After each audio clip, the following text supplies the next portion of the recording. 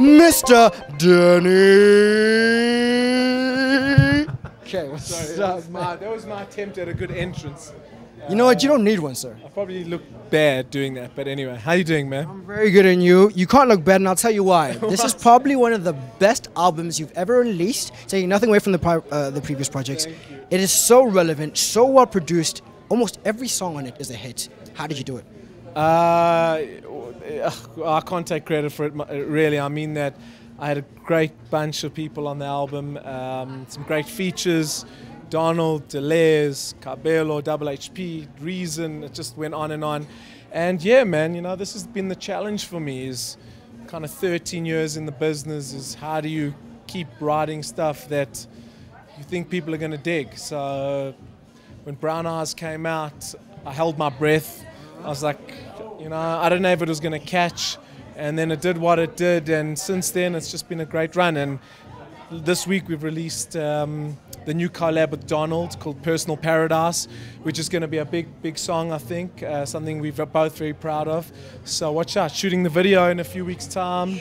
So it's, it's about to uh, about to happen, yeah, again. Does Danny K feel like right now he's at the peak of his powers? I, I really do, you know, and, and I hope that doesn't sound arrogant, but I feel like the past kind of five albums I've done, um, all are kind of like preparation, learning, doing the right things, doing the wrong things. But right now, I feel like I found my lane. I feel very good, and I think it's come with maturity and all that, which is why I called the album "Good Look." You know, the album wasn't about looking good; it was about a state of mind uh, and a creative state of mind, which is a good look on someone. And I thought that, that that's kind of where I'm at. You've had a lot of solidarity in terms of your personal life. You're married to a beautiful woman. Thank you. Great relationship with your father as always. J23 is doing well. How important is your personal life in terms of how your music turns out? Oh, well, I think that's one of the secrets of why creatively I was in such a good space. You know, um, I've kind of had ups and downs personally, professionally. Everything felt good going into recording this album, and you know, sometimes you just need good energy around you to do good things, good people around you. And yeah, my pops, my parents, J23 is a family-run business. We stay very humble, very conscientious, hardworking. We don't get too, you know, full of ourselves.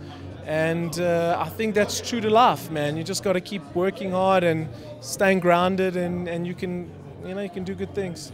Danny I'm hoping we're going to see you have a performance at this year's SAMAs. I hope so. But God damn, I've been dying. You know, the last time I was on the Sama stage, I performed with Mandoza. We did a, a performance in military outfits on bikes. Uh, we had an album that won best pop album that year, and. Uh, I was a long time ago, so I, I hope I hope we get to rock rock something at this year's SAMAs. Yeah. Ladies and gentlemen, the undisputed prince of pop, Mr. Danny King. Thank you very much.